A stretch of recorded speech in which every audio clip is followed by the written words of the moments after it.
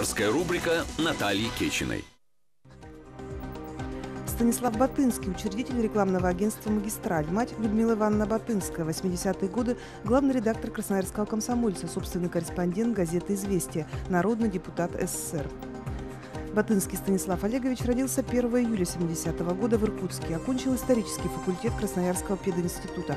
Работал заместителем директора компании «Крис», заместителем директора «Краскона». С 2004 года учредитель и основной акционер рекламного агентства «Магистраль». Дело в том, что он зальется. Не, ну видишь, вот, вот смотри, если у нас вот эти анонсы, да, то там было... Директора магистрали Стаса Батынского подчиненные называют по-небратски папой. И вообще, как он признается, поразвел в коллективе демократию невероятную.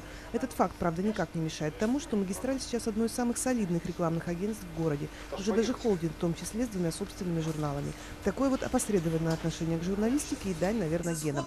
Мама Стаса Людмила Батынская не дожила до 40, но именно она на заре перестройки, прорвав информационную блокаду, сделала сделала «Красноярский комсомолец» самой тиражной региональной газетой за всю историю отечественной журналистики. По сути, именно она научила красноярских журналистов говорить. Все детство Стаса прошло среди людей уже легенд. Редактор «Огонька» Лев Гущин, комсомольца Зарайский, Золик Мельман, Борис Спиридонов и другие. Сейчас таких людей, ну их на самом деле единицы. Вот. Их в нашем поколении единицы. Вот. Я совсем недавно прочитал э, то, что Тарасов написал э, кризис 40-летнего мужика. Вот, я читал, мне еще 40 нету, да, но я читал вообще как будто про себя, думаю, блин, через три года будет так. вот, жутко было на самом деле. Вот, а, их единицы таких людей, как Тарасов. Для меня Тарасов это то поколение, которое тогда было. Сам, говорит Стас, попробовал как-то сотворить для своего журнала статью, ну что называется, писал и плакал. Может быть, потому что слишком высоки у него требования к журналистике. Собственно говоря, Людмила Ивановна никогда не навязывала единственному сыну свои представления о его будущем. Иди, мол, учиться туда, а не сюда. Он только сам всегда решал, что ему делать. У мамы осталось много влиятельных друзей во многих сферах. Но к тому, что у Стаса сейчас неплохой процветающий бизнес, это не имеет никакого отношения. У меня не было никогда дел с э, мамиными друзьями. А, и ее фамилию, ну, свою фамилию, да, я никогда не использовал для того, чтобы каким-то образом там, стать чуть успешнее там, или заработать там, чуть больше денег. Святое сильно такое для меня. Я очень не люблю разговоры на эту тему. А, вообще, ну, ни с кем, в принципе.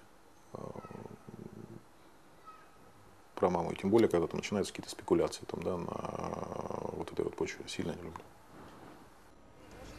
Передвигается Стас Батынский на БМВ. Процесс вождения не любит, и потому у него шофер.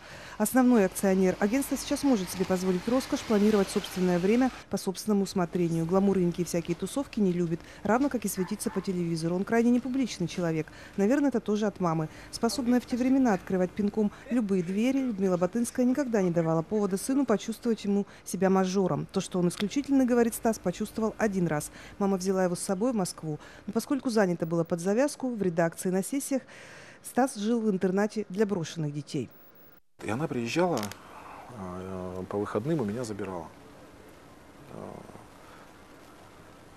вот, вот, наверное, тогда я себя почувствовал ну, исключительным, потому что ну, к ребятам-то вообще никто не приезжал. Как бы. Вот. Это в Филях все было, там ну, место красивое, Филевский парк, все как бы, тоже. А, и мы шли в дом журналиста, а тогда это было одно из немногих мест, где продавали там э, в широком доступе то, чего не было вообще.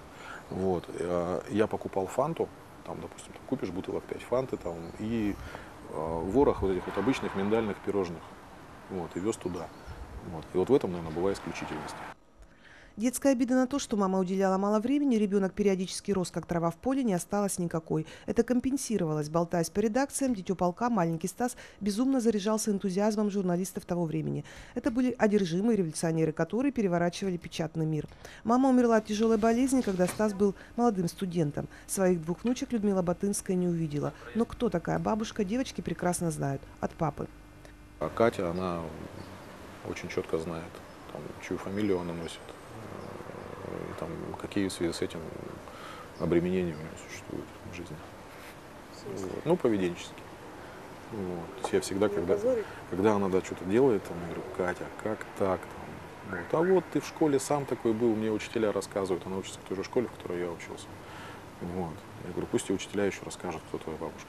Я в этом случае. Ты на меня не равняйся, ты на нее равняйся. А там, а там оказывается еще и, и еще какой-то мальчик. Ну и главное, вы же знаете, что люди на совсем никогда не уходят. Как минимум, имена их остаются. И это не метафора. Три года назад в семье кореглазых брюнетов Стаса и Оксаны Батынских родилась голубоглазая блондинка. Способная уболтать и заболтать любого, девочка, говорит папа, точная копия бабушки. И внешне, и по характеру. Догадайтесь теперь, как зовут эту суперактивную девушку. А ты нам скажи, как тебя зовут? Мила, А фамилия? Батынск. А отчество? Да не помню я. Наталья Кичина, Андрей Гаврилов, Валерий Газека. Новости ТВК.